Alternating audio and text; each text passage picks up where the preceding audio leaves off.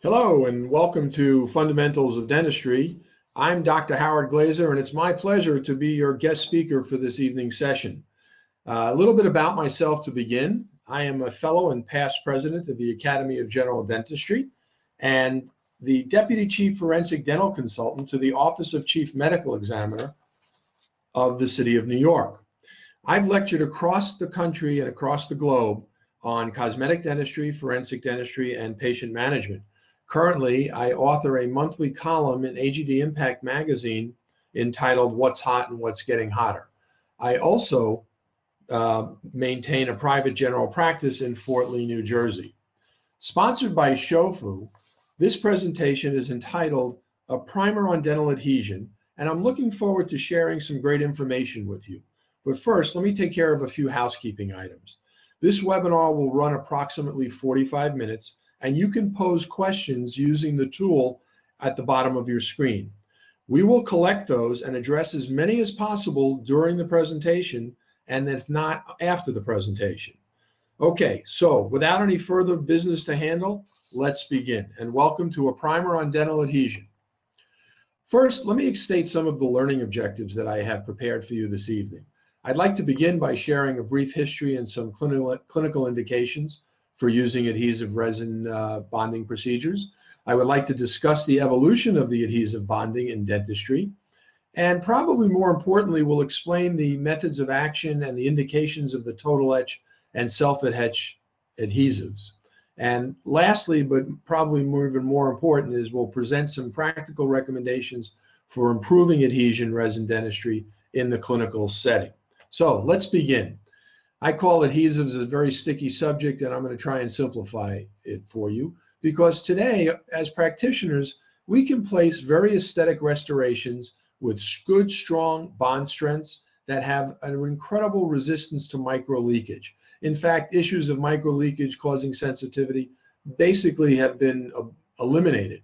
We can safely place adhesive resin restorations and be confident that our patient has been well treated. We also are able to use these in a wide range of clinical applications in restorative dentistry. We can use them, for example, in direct composite resin restorations. We can use them in indirect resin restorations, PLV, porcelain laminate veneer restorations. Of course, with crowns, bridges, posts and cores, fiber posts, pit and fissure sealants, some endodontic obturation materials can be used with this and do require this. Uh, fixed orthodontic brackets and appliances and certainly for treating an ever prevalent problem, dental hypersensitivity, which more often than not, we are seeing uh, a higher incidence of that, and I think in part due to the aging population that we are treating today in our offices. Um, a little bit about the history. It was Buonocore who first did propose the application of adhesives in dentistry so that we had a material that would adhere to the tooth structure and not simply lock into the tooth structure as was the case with alloy type restorations. Um, back in 1949, researcher Hagger developed a material composed of uh, glycerol phosphoric acid dimethylacrylate, dimethacrylate rather, and that was one of the first type of adhesive resins developed. Further research a few years later by Kramer and McLean suggested that adhesives would chemically bond to the tooth structure and actually physically lock onto the tooth structure. Fast forward to the 60s, which sounds like so far a long ago, but it's really not that far off. We became aware of our first commercially available pit and fissure sealants and composite resins that utilize adhesive technology in the clinical experience in placing these in patients' mouths. Now, about 22 years later, it was Nakabayashi who did propose successfully a mechanism for bonding to dentin that describe the infiltration of resin ionomers, resin monomers rather, into the tooth. Now in the 1990s, with the advent of fourth generation, we came upon the hybrid layer that was acceptable in the clinical practice, and we ended up with both multi-step and single-step adhesives that were available and rapidly advancing from there. So that's just a little background of where we are today. We take this as commonplace and very matter of fact but there was a lot of effort and research that went into providing us with the adhesive resin strengths that we have available to us today. Uh, what today? So let's talk about some of the prevailing adhesive systems that are available to us. We have resin-based adhesives, adhesives that are usually categorized as either an etch and rinse or what we commonly refer to as a total etch technique, or we have the self-etched adhesives in which there is no additional step necessary for etching the tooth prior to placement. Current efforts are focusing on simplifying the number of steps and processes.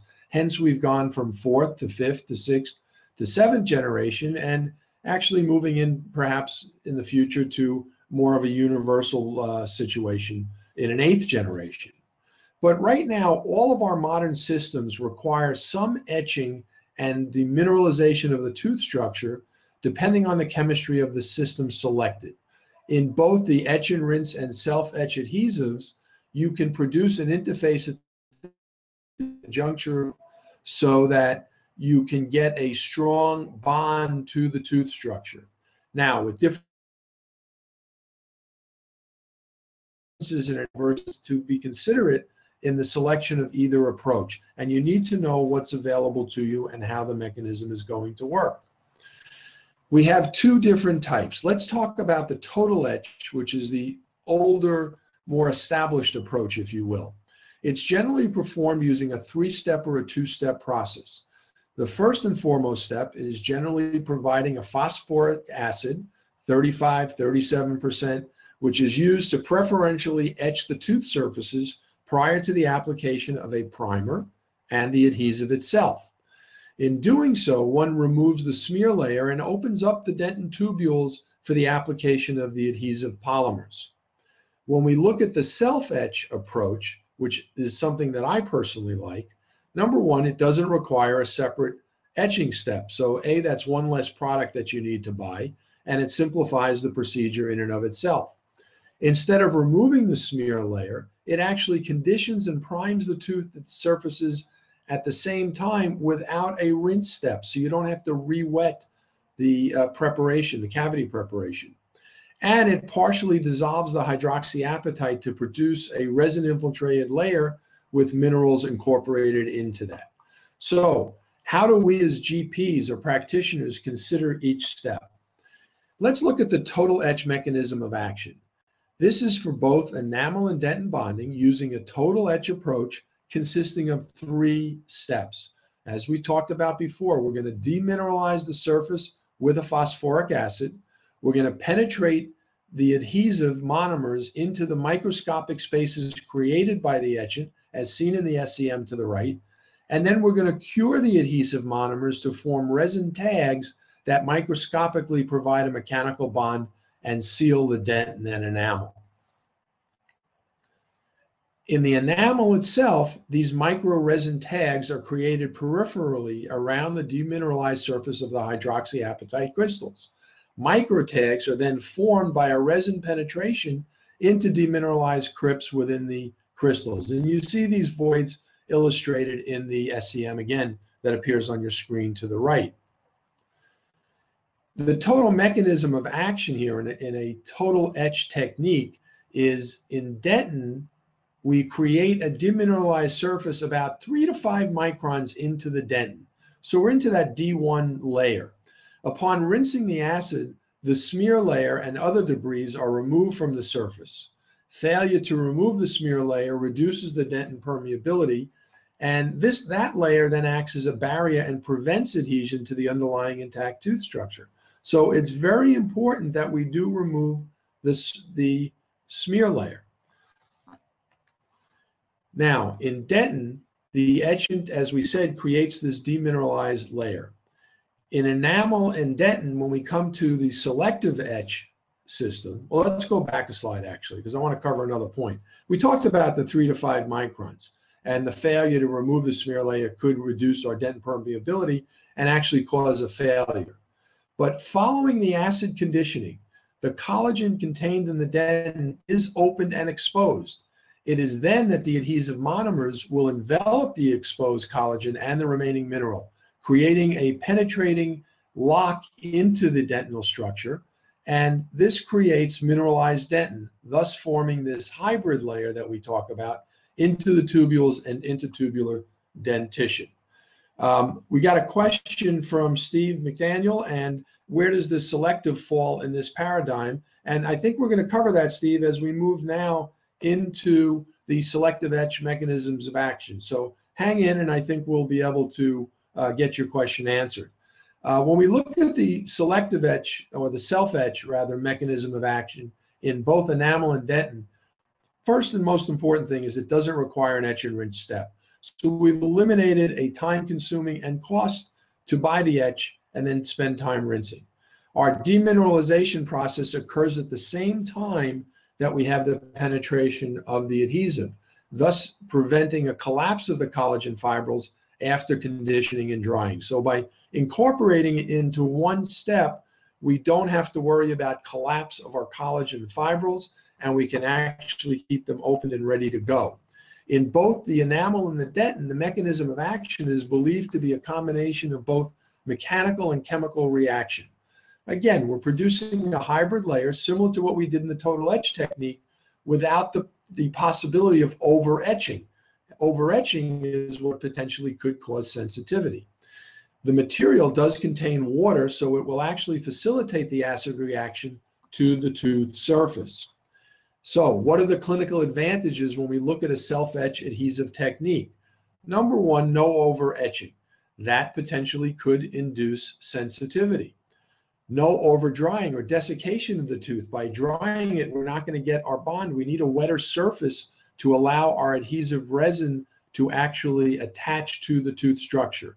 And when in doing so, we actually can create a hybrid layer that has no differentiation between the depth of the etch or this hybrid layer, and it actually forms a very concise and consistent layer upon which we will ultimately place our bonding, our resin materials.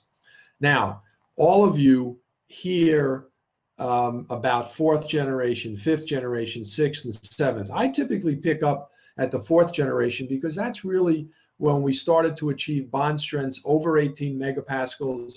Uh, Buonocore and Fusayama in Japan uh, were very critical that we needed to maintain a minimum of about 18 megapascals of bond strength in the enamel in order to have a good, strong adhesive bond.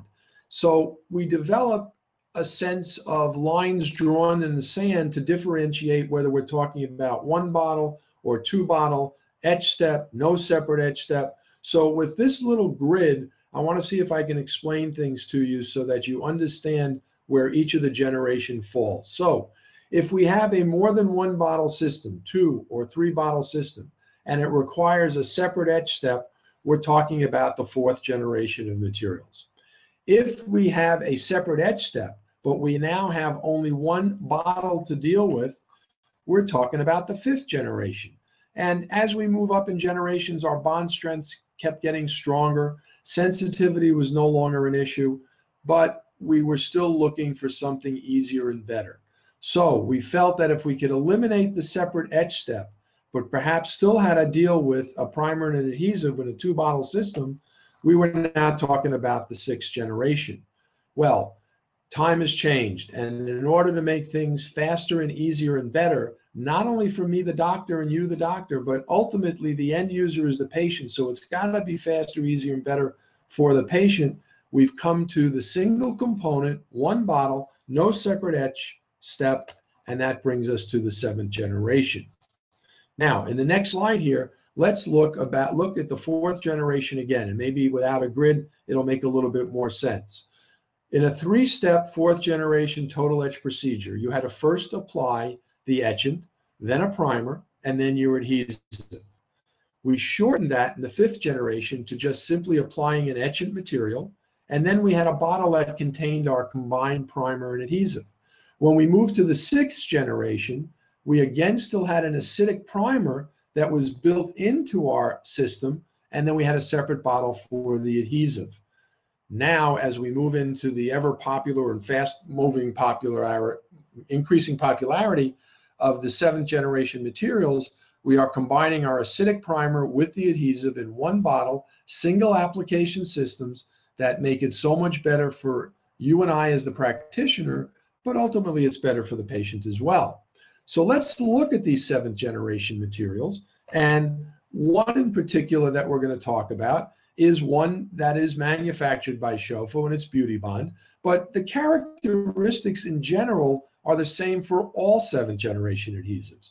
It is a one-step self-etch bonding agent. They are available as a HEMA-free formulation, which therefore in of itself, by eliminating the HEMA is going to improve the bond strengths. And you still can use an etch. I think that's important to know. You can still use a selective etch technique and I, on occasion, will do, in fact, I did one this afternoon like that, where a patient fractured off an entire lingual cusp, and I was using a seventh generation BeautiBond, my seventh generation, but I did etch the perimeter beveled enamel surfaces because so much tooth structure was lost, I felt it was like a belt and suspender technique. So this was an easy way to ensure a successful result.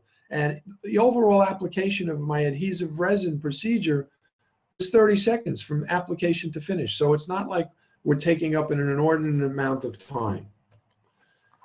BeautiBond, as I mentioned, is a seventh generation adhesive with the bond strengths of, of sixth generation. So we're in our mid to upper 20s in terms of bond strength. And that's significant. What makes BeautiBond so different from others is its unique dual monomer system. It has a phosphonic acid monomer which increases its bond strength to enamel, and a carboxylic acid monomer system that increases the bonding to dentin. So with this dual monomer system, you get increased strength in both the enamel and the dentin, yielding a very high bond strength and yet a very low micro, a very low hybrid layer. In fact, it's only five microns and it's the lowest available in the market today. You're looking at a low five micron film thickness which is incredible. And the bond strengths, as I said, are in the mid to upper ranges for both enamel and dentin. And this was proven in, and published in the Journal of Applied Oral Sciences uh, by Sabatini back in 2013. So the research is there to substantiate uh, the claims that Shofu was making. And in clinical practice, we see this on a daily basis that it is strong. Um, BeautiBond has a self-etch, self-adhesive monomer in it, as we just talked about, the dual monomers. It's actually available, as you see in the picture to the right, in either a unit dose of 0.1 milliliters or a 6 milliliter bottle. Now, let me tell you, I'm not a big fan of the bottle. Why? It's got a solvent. If you don't cap the bottle right away, your solvent is going to evaporate, and then you have a lot of non-usable adhesive resin material in that bottle. So I prefer that I use the unit dose routinely. First of all, take a look at the design. It's a very flat-based design, so laying on your bracket table or on your tray, I call it Weeble's Wobble, it won't fall down. It's very hard to tip that over. So if it's containing 0.1 milliliters, what does that translate to in clinical practice? You can actually apply it to about three teeth prepared already and if you do the resin step at the same time for all three teeth, let's hypothetically say you have a molar and two bicuspids. You would isolate them, whether it's on the rubber dam preferably, or with cotton roll isolation in a dry field. And you will now apply it to the molar and the two bicuspids and photocure it one after the other so that you're doing the adhesive resin step for all three simultaneously. You can't do it for the molar fillet then go back because your material will evaporate out of the unit dose just as easily. So keep in mind that if you're doing three teeth in a row and you're doing quadrant dentistry or hemispheric dentistry, you only have to open one unit dose. It's not like you're wasting it one per tooth. This is a very simple application too. You apply it once, you air dry, and then you photo cure. Total time start to finish, 30 seconds, and you're fully polymerized there's no gingival blanching. It's a HEMA free. Let me talk to you about the air. When we did the fourth, fifth, and sixth generations, we were a little different in our air drying approach. We did a quick blast of our air with our three-way syringe of, of air, and we were done. With seventh generation, what I and others have found is that we need a stream of air three to 10 seconds, five to 10 seconds, starting outside the preparation, if you will, I don't know if I can demonstrate this with my hands, but any event, in your mind, visualize starting outside the preparation and gently bringing your air stream into the preparation till you see a dissipation of all fluid movement. At that time, you photocure it, and then you're done. So very easy to apply. Instructions are very good. Pictorial instructions, uh, they're very, very good there. Now, let me cover a couple of common questions that I get relative to seventh generation. It was very interesting when seventh generation first came about. And I and Karl Leinfelder were the two who first introduced a good seventh generation called iBond by Heraeus uh, many, many years ago. The naysayers all said, oh my God, you can't etch I'm sorry, you can't use a seventh generation on uncut enamel. Well, they're absolutely correct. You can't. But if you're doing adhesive resin dentistry correctly, as I see it, you should be beveling the enamel because when you bevel the enamel, you're going to be able to get greater bond strength to the enamel and you're going to be able to hide your margins and create invisible margins for your restorations. So in answer to the question, should I etch you can etch if you want, but it's not necessary. Etching will improve the bond strength to the enamel only, to the only to the enamel. And the question is, can you use a seventh generation on uncut enamel? You cannot. But if you're doing adhesive resin dentistry correctly, you're beveling the enamel. What did you just do? You cut the enamel. Now, be very careful. If you do this selective etch procedure, make sure you keep it off the dentin. If you have it on the dentin, you'll actually decrease the bond strength and possibly increase the potential for micro leakage and post-op sensitivity.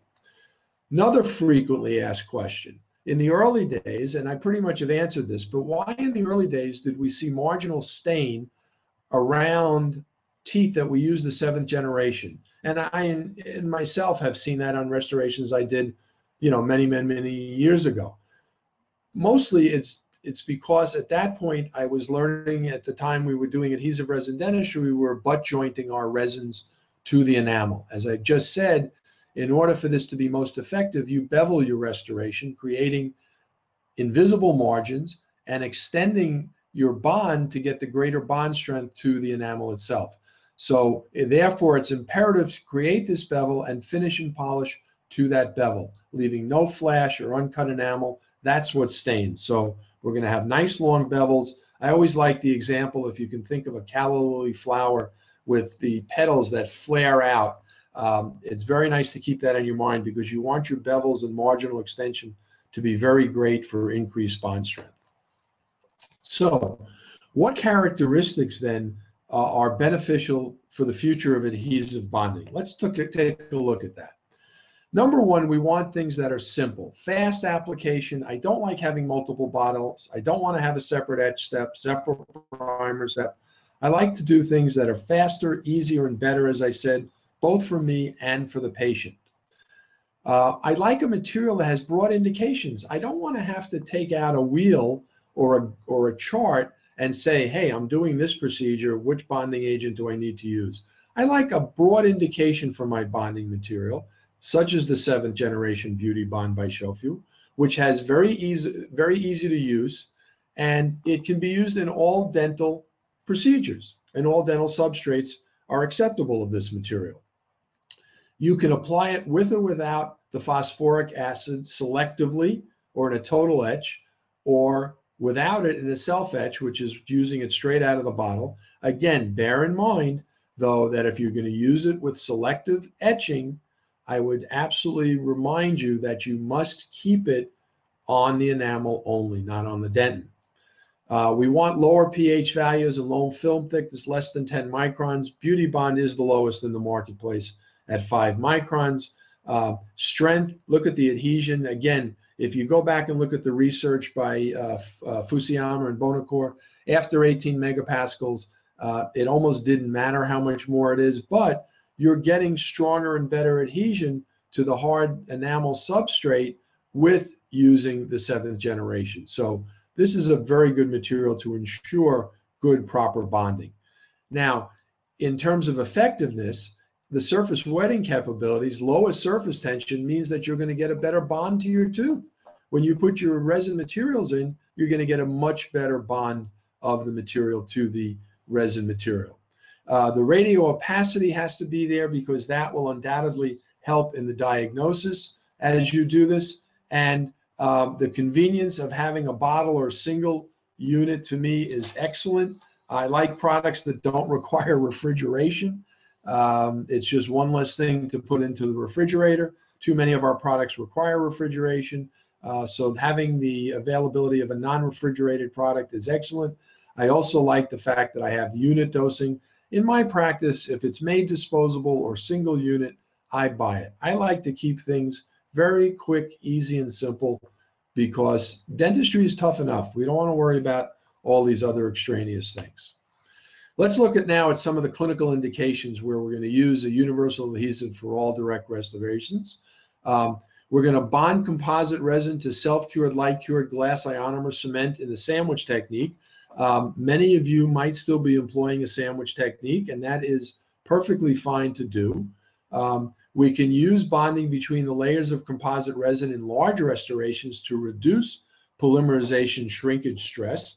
Although one of the ways that I've been successfully able to uh, eliminate some of that shrinkage uh, stress is that after I've done my adhesive, adhesive resin layer, I have then put in a layer of flowable resin and photocured it, maybe a half to a millimeter, or frankly, you can use regular composite for a half a millimeter to a millimeter, photocure it, and that will reduce a lot of the polymerization shrinkage stress that has traditionally been associated with composite resin materials.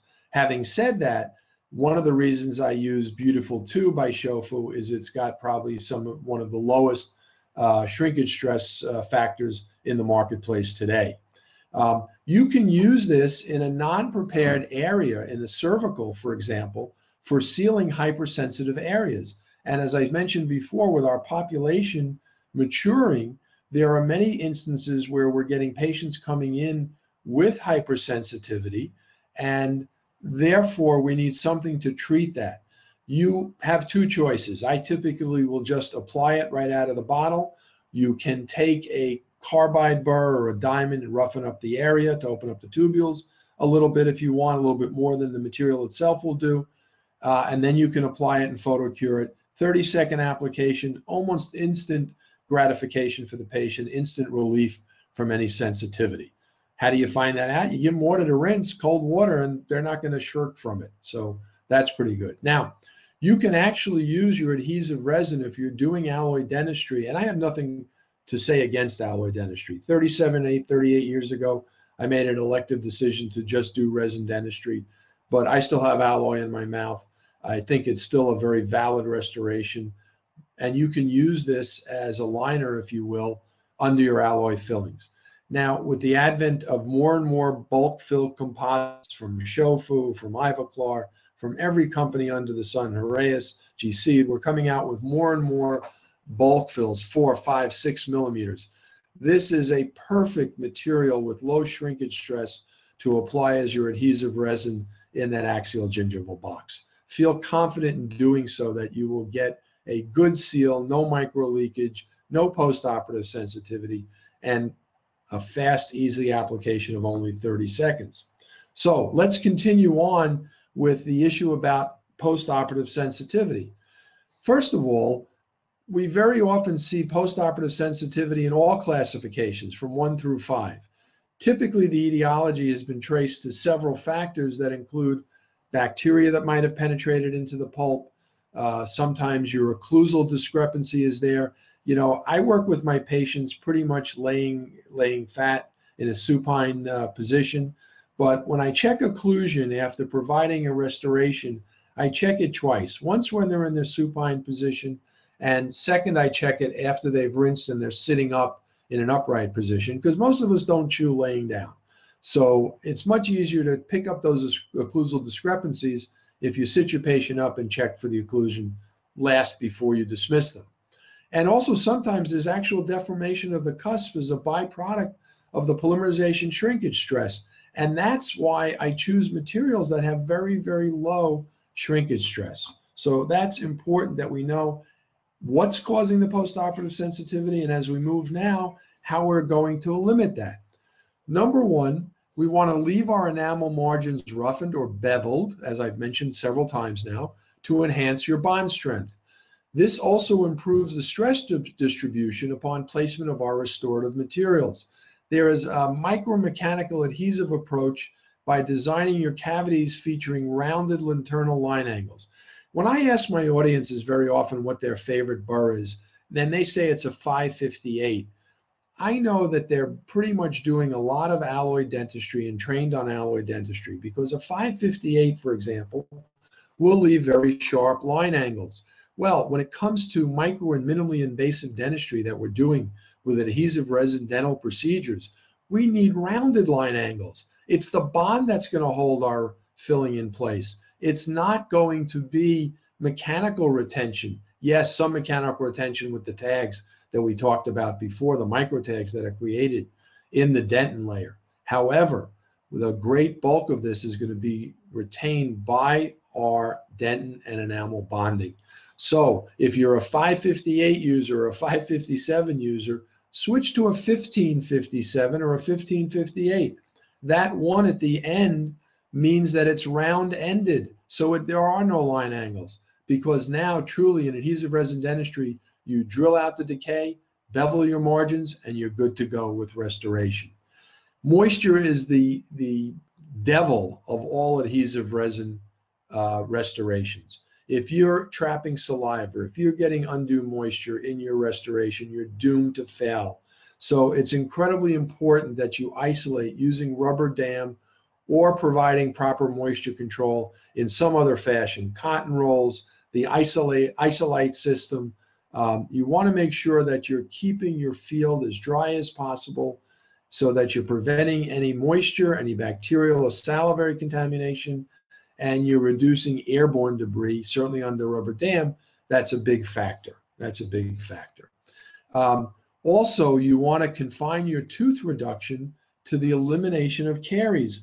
We don't need these, you know, these huge monster holes in our teeth anymore. As I said, we take a round-ended crossguard burr and we simply go in and we eliminate the decay. And in eliminating the decay, I very often, to double check myself, will use a caries indicator dye to make sure that I have accurately and adequately removed all the caries. Remember, getting all the brown out very often will cause you to remove affected dentin, not decayed dentin. That dentin is stained because of the bacterial release of the porphyrins from the bacteria.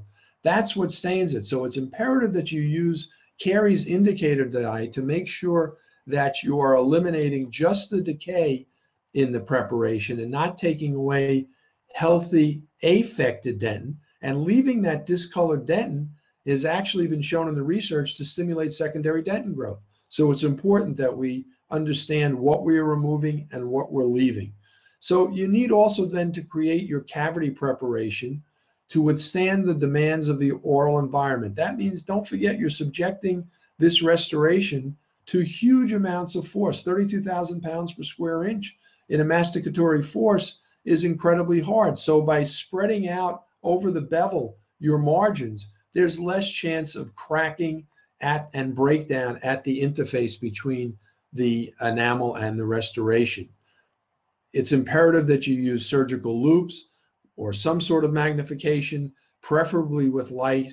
And again, I keep repeating the point, but it's so important that you bevel the margins, if for no other for no other reason at all. And I hopefully I've given you several good reasons. But if no other reason, you're going to get the most aesthetic restoration because you're going to create invisible margins as you do this. So how are we going to get a restoration such as you see on the right that looks quite natural and quite beautiful? We're going to prepare our cavity. We're going to extend, clean out, make sure there's no decay, use caries indicator dye, make sure we've got a healthy sound tooth amount of tooth structure left. We're going to then take our burr and we're going to bevel our margins so that we get increased enamel retention, good, better bond strength. If we're not sure or if we don't have sufficient tooth structure left, then perhaps you want to do a little selective etching, making sure to keep it off the dentin. We're going to do all of this under rubber dam isolation. We're going to manage the pulp as necessary. You know, if you have a thin layer of uh, pulpal floor and you see a little pink, you can provide your adhesive resin layer and then I'd put a little flowable over that, such as Beautifil Flow Plus. Uh, part of the reason I like the Shofu products, both the BeautiBond and the Beautifil Flow Plus and their Restorative Beautifil 2, is they have this giomer chemistry. The giomer chemistry causes a release of fluoride, just like glass ionomer. But however, this glass ionomer, I'm sorry, this fluoride release actually is reinforced and recharges every time the patient rinses with a fluoride rinse, brushes with a fluoride toothpaste, or drinks fluoridated water. Unlike glass ionomer, where the fluoride release dissipates over 30 to 60 days. So again, rubber dam isolation, prepare our cavity, manage the pulp. Now we're going to apply our, our adhesive. We're going to take our brush, open our unit dose, apply our adhesive into the deepest portion of the cavity, starting at the occlusal end of the preparation, so that like when you're washing your car, the excess drips into the cavity prep, washing it around the walls and the floor. And my philosophy is if it has a fuzzy brush at the end, you rub and scrub as you put your material in. We're going to allow it to set properly. We're going to dry it air dry. Remember I said three to 10 seconds coming into the preparation, gently blowing our, our dry air. When we see the dissipation of all fluid movement, we're going to photocure it and we are done with our adhesive resin. Now we're going to apply our uh, restorative material. We're going to place it in incremental layers. We're going to photocure it. We're going to draw it out over our beveled margins so we have invisible margins. We're going to photocure and then we're going to finish and we're going to polish. And typically I polish using the Shofu Super Snap system. It makes it so nice and easy or the OneGloss system that they have which makes it even easier. They have cups, discs, and points that make it very easy for you to accomplish and achieve a nice high glossy sheen as you see on the picture to your right. So in this brief time that has elapsed, the last 40 minutes or so, um, we are ready to take some questions and we'll move to the questions and answers. Um, and we can uh, feed them through uh, the queue here and I'm going to scroll through. I think we've uh, discussed the question we had about selective falling into the paradigm that we have here. And um, how much, how, and the question I have next is how much can a self-etch adhesive do to cover up for a less than a perfect prep? Well, first I'd ask you, why do you have a less than a perfect prep? Um, the object here is to have a an adequate preparation that will hold on to the restorative material. So in the example that I tried to give before, where I lost the entire lingual cusp on a bicuspid, and I had basically an MODL preparation. Maybe that's what you're talking about, an MODL preparation. What I put on that tooth after I beveled my margins and isolated it, I was able to apply my BeautiBond adhesive, but before I did that, I selectively etched with phosphoric acid my beveled margins. So again, why? I didn't feel I had enough retention based on tooth structure alone. It's different than the picture we showed earlier, and I'll go back uh, in the picture if I if I can go back in the deck here. Um, it's different than when you have this picture as you see here, where you've got a confined amount of tooth structure and uh, ample amount. I'm talking about when you've lost a significant amount of tooth structure, then it becomes imperative that I think that you use a selective etch technique, just etching the enamel. So I hope that answers uh, your question, Dan, and I thank you for taking the time to ask the question. Next question I have is, uh, adhesives uh, do not help protect the pulp from thermal perspective, right? Will I uh, comment? You know, I'm not quite sure that that's true. In my mind, when I'm putting that layer down there, you are protecting the tooth from micro leakage. And the thermal, the thermal perspective I think you're alluding to is thermal change that might be felt by a pulp if there is inadequate coverage of that pulpal floor and you're getting micro leakage. So I think if I've adequately applied my uh, adhesive resin across the axial gingival box, across the pulpal floor entirely, then I don't think that it's going to be a question in my mind of thermal sensitivity. So I hope, uh, Dr. Kalia, that's uh, helped you with that question. Uh, next, do I manage deep caries differently from a standpoint of adhesive selection?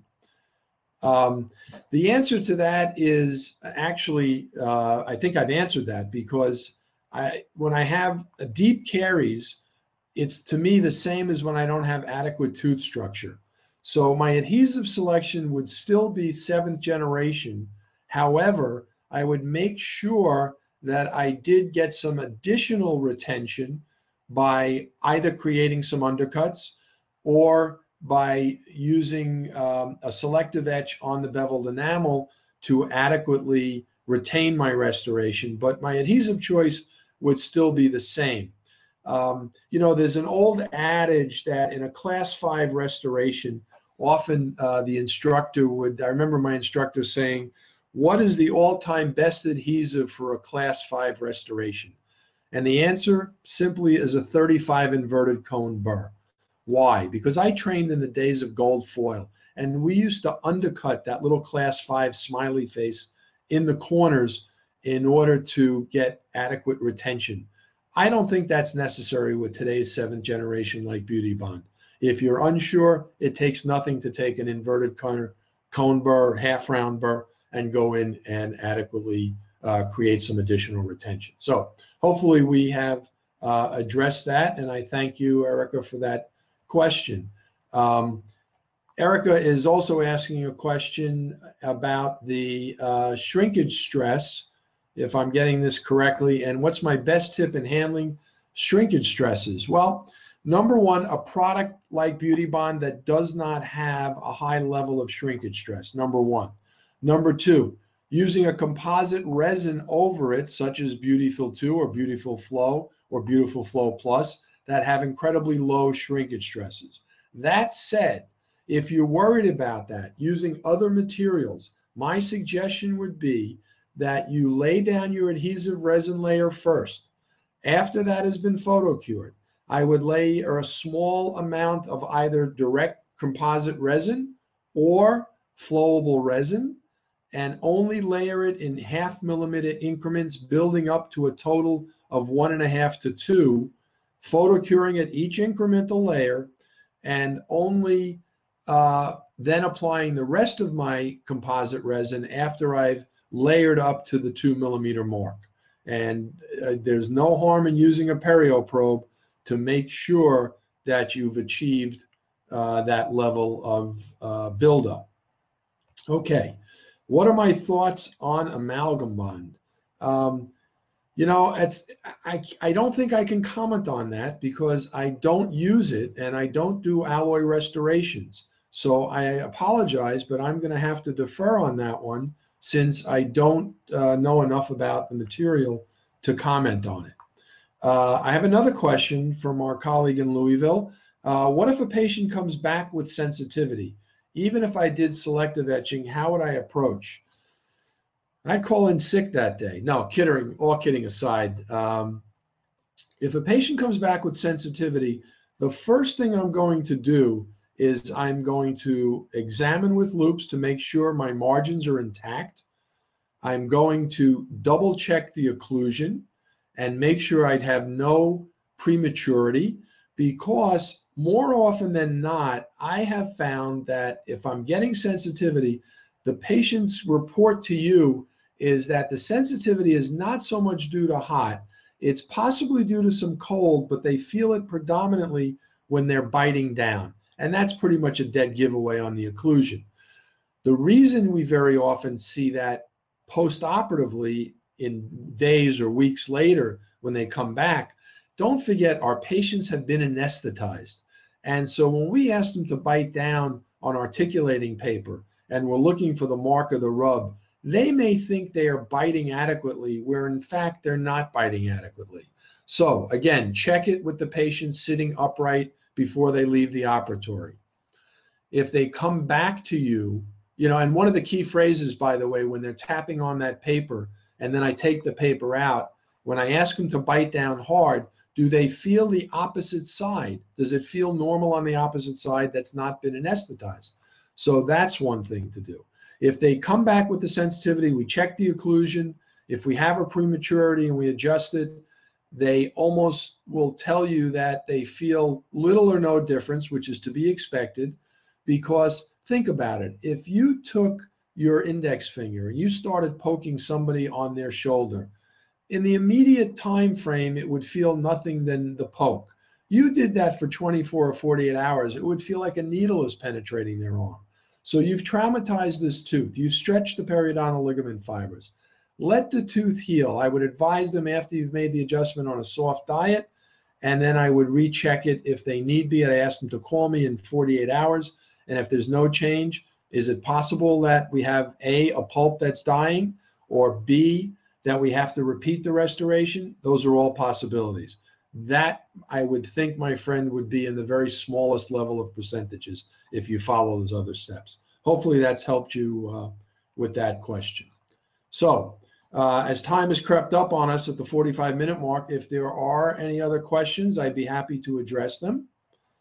Um, if we don't see any more questions, then um, I think we can begin to wrap up. Let me, let me just cover a couple of things before I do close. Uh, I try to incorporate a lot of science in a very simple way tonight. And I've tried to incorporate a little bit of practical dentistry. In the 40 years of practicing clinical dentistry uh, in private practice, I've come along with a lot of materials and I've dealt with a lot of situations that a lot of you just entering your career are going to be faced with. Don't panic. That's the first thing. You have the skills, you have the knowledge. I think you know what has to be done. Think about the things we've talked about tonight. Making sure we have a clear, clean cavity that's void of any remnant decay. Don't be afraid to use caries indicator dye. Make sure that you use it repeatedly till you're left with no indication of caries. It's okay to leave that stained dentin. You don't have to take it all out. That's affected dentin. It helps stimulate the secondary dentin growth. Make sure that you've extended your bevels onto the enamel so that you increase your bond strength and at the same time are able to create beautiful restorations. And choose your products wisely, as I have. One of the reasons I was happy to do this for Shofu tonight is because I value the time and effort they have put in to research and development. And I value the products that they bring to me to enable to treat my patients not only faster, not only easier, but provide better treatment for them. So, in closing, then, I want to thank you very much for your attention this evening. I'm going to put up on the screen my email address Many of you might have questions tomorrow, the next day, six months from now. Be happy to address them with you. I ask two favors, if you would, in the subject line. Please put that I heard you on the webinar. And in the text of your um, message to me, please put down your phone number. More often than not, I'll call you because I can speak faster than I can type. So I think we could develop a dialogue that way and perhaps help you uh, even better. So I want to, in closing, thank you very much for your attention tonight. And I want to thank Shofu for providing this opportunity to me and to you to learn a little bit more about the fundamentals of operative dentistry. It's been my pleasure, and I hope you've enjoyed this evening. Please join us again for the next pres- presentation on the fundamentals of operative dentistry series.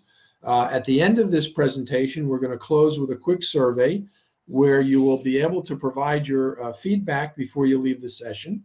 So I thank you very, very much, and I will um, close and wish you a very, very pleasant evening.